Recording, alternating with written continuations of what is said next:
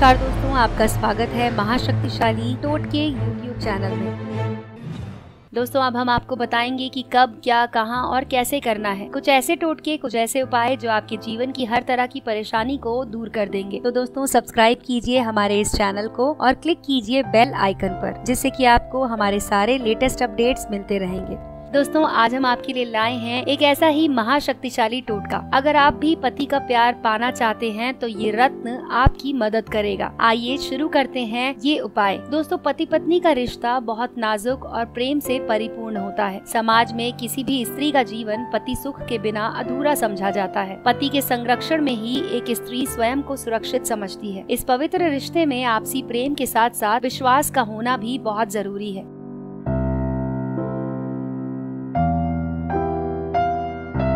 लेकिन कई बार बिना किसी कारण के ही पति पत्नी के बीच खटपट होने लगती है। वैवाहिक जीवन में अशांति का कारण कई बार बृहस्पति की कमज़ोर स्थिति भी होती है। अगर आपकी कुंडली में गुरु कमज़ोर है और इस वजह से आपको अपने पति से प्रेम नहीं मिल पा रहा है तो आपको पुखराज रत्न धारण करने से लाभ होगा। अगर कुंडली में गुरु नीच का हो तो गुरु से संबंधित वस्तुओं का दान कर सकते हैं। दोस्तों, स्त्रियों के जीवन में पति सुख का कारक बृहस्पति होता है। इसीलिए कुंडली या हाथों की रेखा में अशुभ बृहस्पति के कारण पति सुख में कमी आती है। गुरु का रत्न पुखराज धारण करने से भाग्य में वृद्धि होती है और इसे भाग्य को बढ़ाने वाला रत्न कहा जाता है। ऐसा कहा जाता है कि पुखराज रत्न को धारण करने वाले व्यक्ति के घर में कभी भी दरिद्रता का वास नहीं होता। उसके ऊपर सदा माँ लक्ष्मी का आशीर्वाद बना रहता है। अगर किसी बच्चे की पढ़ाई में दिक्कत आ रही है या उसका दिमाग कमज़ोर है तो उसे पुखराज रत्न अवश्य धारण करना चाहिए। पुखराज रत्न धारण करने से मान सम्मान में भी वृद्धि होती है। निसंतान दंपतियों को भी पुखराज रत्न पहनने से लाभ होता है। अगर किसी का बार बार गर्भपात हो रहा है या किसी और वजह से गर्भ की हानि हो रही है तो पुखराज रत्न धारण करने से आपको ये परेशानी दूर हो जाएगी।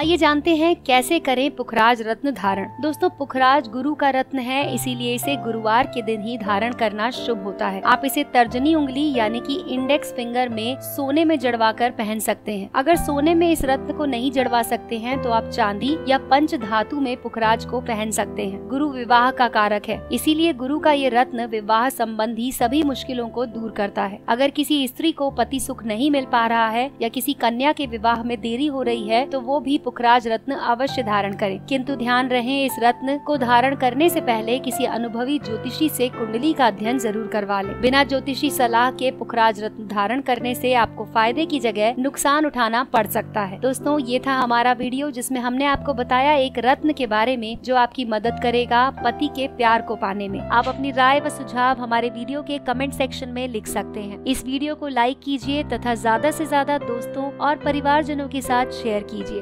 दोस्तों, अगर आपने अभी तक महाशक्तिशाली टोटके चैनल को सब्सक्राइब नहीं किया है तो सबसे पहले इस चैनल को सब्सक्राइब कर लीजिए। देखते रहिए महाशक्तिशाली टोटके चैनल।